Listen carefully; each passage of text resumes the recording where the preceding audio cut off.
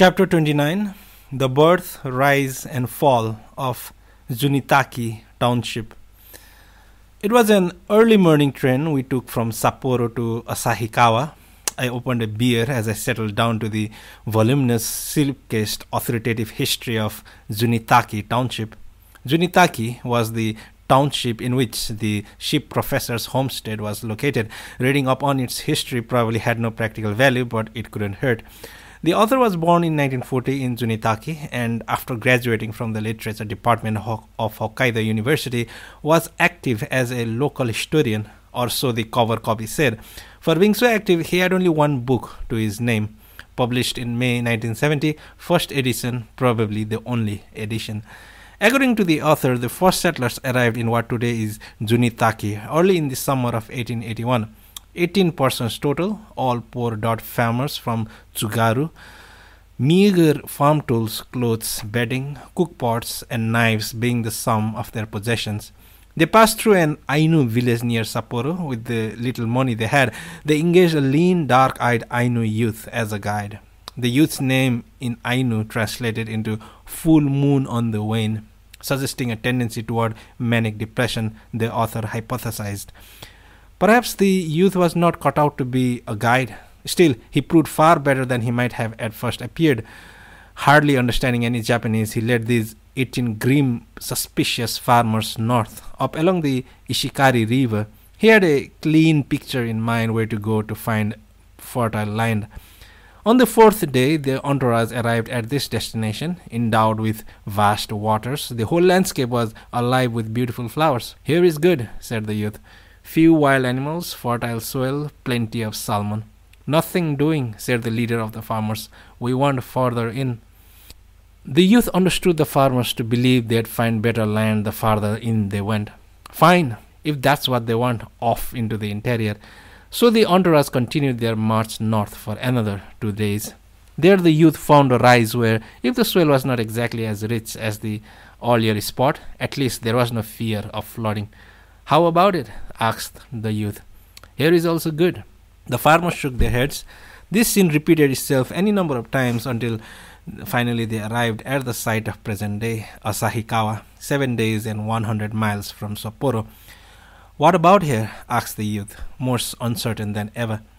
No go, answered the farmers. But from here we climb mountains, said the youth. We don't mind, said the farmers gleefully and so they crossed the Shiokari Pass. Needless to say, there was a reason why the farmers had passed up the rich bottomland and insisted on going deep into the wilderness. The fact was, they were on the lam.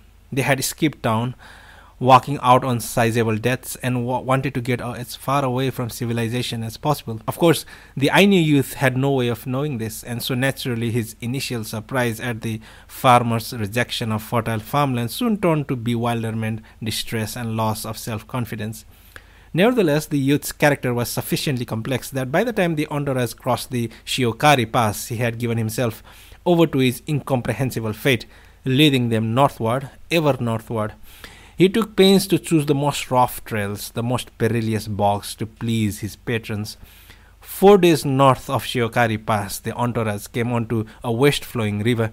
By consensus, it was decided they should head east. This tack sent them up horrible trails through horrible terrain.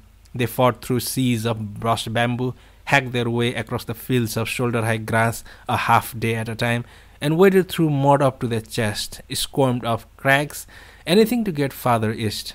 At night, they spread their tarps over the river bank and kept an ear out for the howling of wolves while they slept. Their arms, scraped raw from the bush bamboo, were beset at every turn by gnats and mosquitoes that would burrow into their ears to suck blood. Five days east, they found their way blocked by the mountains and could go no further. What lay beyond was not fit for human settlement. The youth declared. Upon hearing this, the farmer halted in their tracks. This was July 8, 1881, 150 miles overland from Sapporo. The first thing they surveyed the lay of the land, tasted the water, checked the soil. It was reasonably good farmland. Then they divided the land among the group and erected a communal log cabin in the center. The Ainu youth came upon the band of Ainu hunters passing through the area.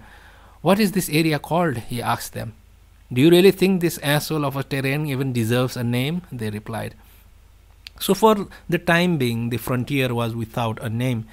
As another dwelling, or at least another dwelling that desired human contact, did not exist for 40 miles, the settlement had no need for a name. In fact, when in 1889 an official consensus taker from the territorial government pressed the group for a name, the settlers remained steadfastly indifferent. Sickle and hoe in hand, they met in the communal hut and decided against naming the settlement. The official was literally up a creek. All he could do was to count the falls in nearby river, 12, and report the name of the Junitaki Buraku or 12 Falls settlement to the territorial government. From then on, the settlement bore the formal appellation Junitaki Buraku and later Junitaki Mura, 12 Falls village. The area fanned a 60 degree arc between two mountains and was cut down the middle by a deep river gorge. An asshole of a terrain for sure. The ground was covered with brush bamboo, with huge evergreens spread their roots far and wide. Wolves and elks and bears and muskrats and birds competed in wilderness for the meager food available. Everywhere, flies and mosquitoes swarmed. You all really want to live here? asked the Ainu youth. You bet, replied the farmers. It is not obvious why the Ainu youth, instead of returning to his own home, chose to stay on with the settlers. Perhaps he was curious, hypothesized the author, who loved to hypothesize. Whatever the case, if he had not remained, it's doubtful the settlers could have made it through the winter. The youth taught the settlers how to root for winter vegetables, how to survive the snow, how to fish in the frozen river, how to lay traps for the wolves, how to escape the attention of bears before hibernation, how to determine the weather from the direction of the wind, how to prevent chilblains, how to roast bush bamboo roots for food, how to fell evergreen trees in a set direction. Soon everyone came to recognize the youth's value, and the youth himself regained his confidence.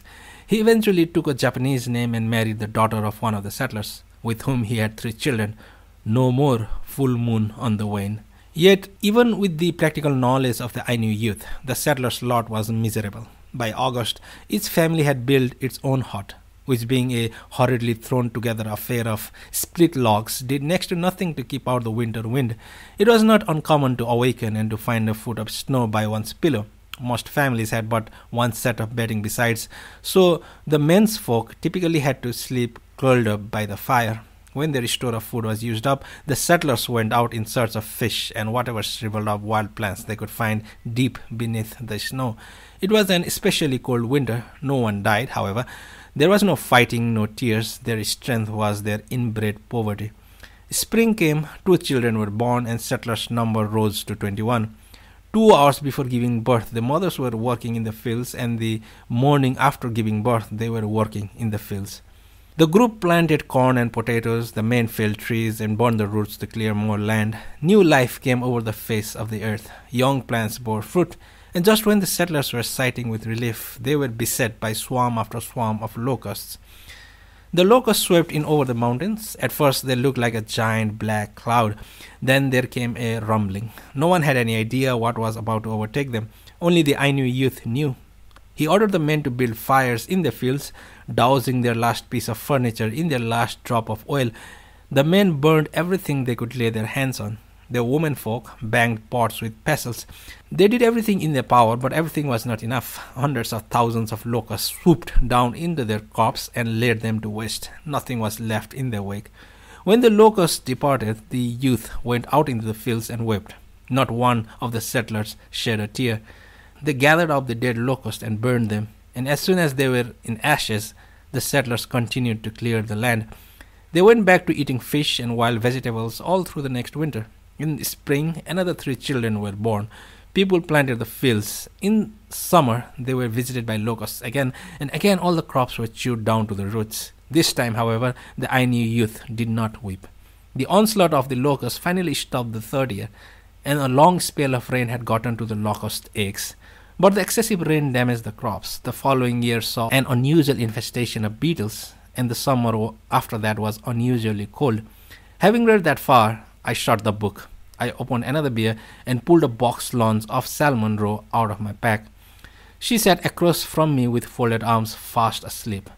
The autumn morning sun, slanting in through the train window, spread a thin blanket of light over her lap. A tiny moth blew in from somewhere and fluttered about like a scrap of paper. The moth ended up on her breast and stayed there before flying off again. Once the moth had flown off, she looked the slightest bit older. I smoked a cigarette, then resumed reading the authoritative history of Junitaki Township. By the sixth year, the settlement was at last holding its own. The crops were bearing, the cabins refurbished, and everyone had adjusted to life in the cold climate. Sod board houses took their place among the log cabins. Huts were built, lamps hung. People loaded up a boat with what little they had in the way of extra produce and dried fish and elk antlers, traveled two days to market in the nearest town and bought salt and clothing and oil in exchange. Some learned how to make charcoal from timber felled in the clearing fields. A number of similar settlements sprang up downstream and trade was established. A groundbreaking continued. It became apparent that the settlement was sorely short of hands, so the group convened the village council, who after two days decided to call in reinforcements from the old hometown. The question of renegade loans arose, but from replies to inquiries carefully crouched in their letters home, they learned that their creditors had long since given up on trying to collect. The eldest of the settlers, they sent off notes to their old buddies asking that they join the settlers in working the new land. In 1889, the census was conducted. The same year, the settlement was officially named. The following year, six new families, comprising 19 new settlers, came to the settlement. They were greeted with upgraded log cabins. A tearful reunion was had by all. The new residents were given land. With the help of the first settlers, they planted crops and built their own houses. By 1893, four more new villages had. By 1893, four more new families had arrived with 16 people. By 1897, seven more new families had arrived with 24 people. The number of settlers rose steadily. The communal hut was expanded into a formal meeting hall, and next to it, they built a small shrine. The settlement officially became a village. From Junitaki Buraku to Junitaki Mura, the postman began to make appearances, however infrequently. And while millet was the main diet of the villagers, they now occasionally mixed in real white rice. Of course, they were not without their share of misfortune. Officials came through to levy taxes and enforce military service. The Ainu youth, by now in his mid 30s, was particularly upset by these developments. He could not understand why such things as taxes and military service were at all necessary. It seems to me things were better off like they used to be, he said. Even so, the village kept on developing. In 1903, they discovered higher ground near the village suitable for grazing, and the village set up a communal sheep pasture. An official from the territorial government instructed them in building fences, supplying irrigation, and constructing livestock shelter. Next, prison labor was called in to lay a road along the river, and as time went on, flocks of sheep, bought sheep from the government, were being herded up the road.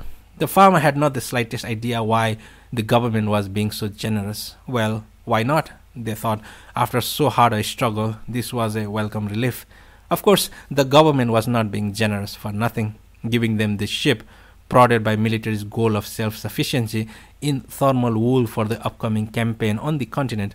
The government had ordered Ministry of Agriculture and Business to increase efforts in sheep raising, and the ministry had forced these plans on the territorial government. The Russo-Japanese War was drawing near. In all the villages, it was again the Ainu man, no longer a youth, who showed the greatest interest in sheep. He learned the methods of sheep raising from the territorial official and took on the responsibility of the village pasture. There is no knowing exactly why he became so devoted to sheep. It may have been the complexities of life brought on by the village population, suddenly growing by leaps and bounds. The pasture became home to 36 head of South Downs and 21 head of Shropshires, in addition to two border collies. The Ainu man became an able shepherd, and with each passing year, the number of sheep and dogs increased. He came to love his sheep and his dogs with all his heart. The officials were more satisfied. Puppies were farmed out as top sheep dogs to similar sheep farms established nearby. When the Russo Japanese War broke out, five village youths were conscripted and sent to the front line in China Two were killed and one lost his left arm when an enemy grenade exploded in a skirmish over a small hill. When the fighting ended three days later, the other two gathered up the scattered bones of their fellow village youths. All had been sons of first and second wave settlers. One of the dead was the eldest son of the Ainu youth turned shepherd. He died wearing an army issue wool overcoat. Why send boys off to war in a foreign land? The Ainu shepherd went around asking people. By then he was 45. Nobody would answer him. The Ainu shepherd broke off the village and stayed out at the pasture, spending his waking and sleeping hours with the sheep. His wife had died from bronchitis five years earlier, and his two remaining daughters had both married. For his services in mining the sheep, the village provided him with scant wages and food. After losing his son, the Ainu shepherd grew embittered. He died at age 62. One winter morning, the boy who was his helper found him sprawled out dead on the floor of the sheep house frozen. Two sorry eyed grand puppies of the original two border collies whined at his side. The sheep, oblivious, were grazing away at the hay in their enclosure. The low grinding rhythm of sheep teeth sounded like the chorus of castanets. The history of Junitaki went on, but history for the Ainu youth ended there. I got up to go to the John and two beers worth. When I returned to my seat, she was awake and gazing distractedly out of the window rice fields stretched far and wide. Occasionally there'd be a silo. Rivers drew near, then re- retreated. I smoked a cigarette, taking in the scenery together with her profile, taking in the scenery. She spoke not a word. Once I finished my cigarette, I went back to the book. The shadow of a still breeze flashed across the page. After the unhappy tale of the Ainu youth who became a shepherd, got old, and died, the remaining history was rather boring fare. An outbreak of sheep bloat claimed ten head. Severe cold dealt a temporary blow to crops. But other than that, everything went smoothly with the village. In the Taisho era, it was incorporated as a township and newly renamed Junitaki Cho. Junitaki did well, building more facilities, a primary school, a town hall, a postal service outpost. By this time, the settling of Hokkaido was nearly complete. With arable land reaching its limit, several young men left Junitaki-cho to seek their fortune in new worlds of Manchuria and Sakhalin. In 1937, the sheep professor made his appearance in the town. Read the history. Ministry of Agriculture and Forestry technical administrator, much recognized for his studies in Korea and Manchuria, doctor aged 32, took leave of his post due to special circumstances and established his own sheep ranch in a mountain valley north of Junitaki-cho. Nothing else about him was written. The author himself seemed to have gotten bored by the events of the 30s on. His reports became spotty and fragmentary. Even the writing style faltered, losing the clarity of his discussion of the Ainu youth. I skipped the 31 years between 1938 and 1969 and jumped to this section titled Junitaki Today. Of course, the book's today being 1970, it was hardly today's today. Still, writing the history of one town obviously imposed the necessity of bringing it up to a today. And even if such a today soon ceases to be today, no one can deny that it is in fact our today. For if a today ceased to be today, history could not exist as history. According to my authoritative history of Junitaki Township, in 1969 the population had dropped to 15,000, a decrease of 6,000 from 10 years prior, due almost entirely to decline in farming the unusually high rate of agrarian disenfranchisement came about in reaction, it stated, to changes within the national infrastructure in a period of rapid industrial growth, as well as to the peculiar nature of cold climate farming in Hokkaido. What became of their abandoned farmlands? They were reforested. The land that their forefathers had sweated blood clearing, the descendants now planted with trees. Strange how that worked which was to say that the primary industry in Junitaki today was forestry and lumber milling. The town now boasted several small mills where they made television cabinets, vanities, and a tourist trade figurines of bears and Ainus. The former communal hunt was converted into the Pioneer Museum, where the farming tools and eating utensils from early settlement days were kept on display. There were no keepsakes of the village youths who had died in the Russo Japanese War also a lunchbox bearing the teeth marks of a brown bear, and even the letters to the old hometown inquiring about debt collectors. But if the truth be known, Junitaki today was dreadfully dull town. The townsfolk, when they came home from work, watched an average of four hours of television before going to bed each night. Balloting ran high, but it was never any surprise who won the election. The town slogan was Bountiful Humanity in Bountiful Nature or so the sign in front of the station read. I closed the book, yawned, and fell asleep.